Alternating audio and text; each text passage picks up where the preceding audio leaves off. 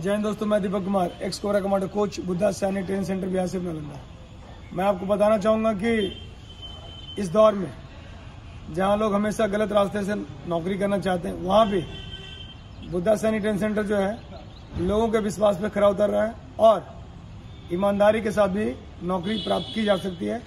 इसका रिज़ल्ट आप देखेंगे हमारे सामने। तैयारी के लिए हमारे पास आए हुए हैं अलग अलग जगह से लड़के आए हुए हैं, खासकर रिटर्न के लिए। मैंने इनको कोई बुलावा नहीं दिया है कि नहीं, मैं तुम्हारा डॉक्यूमेंट्स रखूँगा, मैं तुम्हारा ये रखूँगा, तुम्हारा भर्ती होने के बाद ये पैसा लूँगा। बिल्कुल क्लियर और ना मैं इनको कोई फ्री देता। अगर आप फ्री फ्री करके आप इनको झांसे में फंसाने वाली बात है, जिस तरीके से लोग मछली मारते हैं, एक छोटा सा चेहरा लेके, कांटा लेके मछली को पकड़ लेते हैं। वो धंधा यहाँ बुद्धा में नहीं होता है। अब जानते हैं हमारे पास जो लड़के आए हैं, तैयारी करने के लिए कहाँ से आए हैं, क्या नाम है? आइए। ज़ोर से बोलो। मेरा नाम नीतीश कुमार है।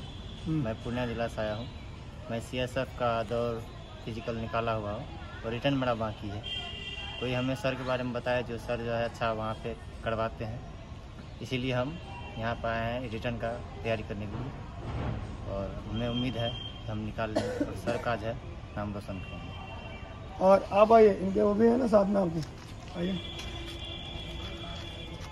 आपका सबसे कमज़ोर विषय आपका नाम क्या है? रूपक कुमार। रूपक कुमार आप भी किस काम के लिए आए यहाँ पे?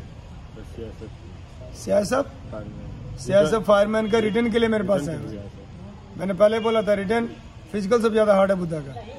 लेकिन आदमी छोड़ देता है उसका कारण है उनको लगता है कि आसान तरीके से हो जाएगा जबकि होता नहीं है। ये बता जब आप आए थे जिस दिन? और आज लगता है दस पंद्रह बीस दिन हो गया है। महीना हो गया। कुछ फ़र्क पड़ा है? हैं?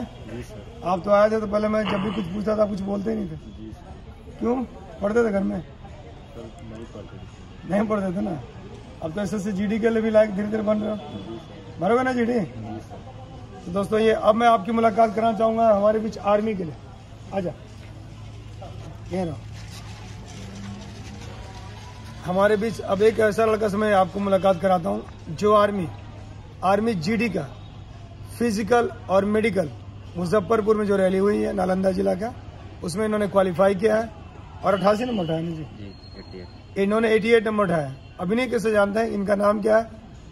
कहाँ इनका गाँव है? और बुद्धा में क्यों आए? लोग इनके साथ वाले लोग जा रहे हैं। कहीं फ्री के चक्कर में कहीं दलाल के चक्कर में कहीं बोलता है कि आप डॉक्यूमेंट्स रख ले। हम इनसे जानते हैं क्या हमने इसके साथ क्या रखा पहले अपना नाम बताइए। My name is Amit Kumar.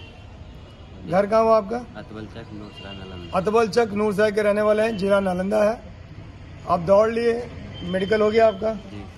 आप एक बार पहले मेरे से पूछ के गए थे कि रिटर्न में सर क्या करें। मैंने आपसे पूछा था गार्जियन आपके साथ आए थे। हमने क्या बोला था? कि मुझे मैंने डॉक्यूमेंट्स लिया आपसे? नहीं नहीं लिया। क्या आप पास होने के बाद हमको पैसा दीजिएगा? जो फ़ीस हमने वही लिया ना? जो। रहने और खाने।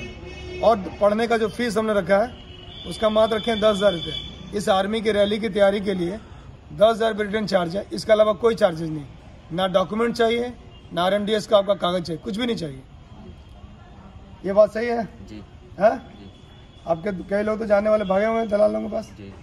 तो क्या दलाल के पास कोई इंजेक्शन है जो दिमाग में देगा? नहीं सर हाँ? गलत गलत है ना? जी। तो दोस्तों आर्मी वालों क्या कहना चाहोगे? मतलब आर्मी तैयारी करते हैं। अपने मेहनत से ना होगा? जी अपनी मेहनत कोई दलाल के चक्कर में उसको नहीं नहीं ना होगा। जो मेहनत करेगा उसी को ठीक इसके लिए जोरदार ताले भाई।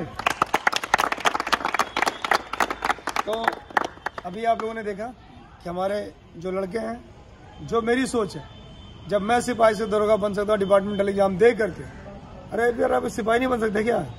अगर बनना है अभी भी मौका है। Welcome to Buddha thank you जय जय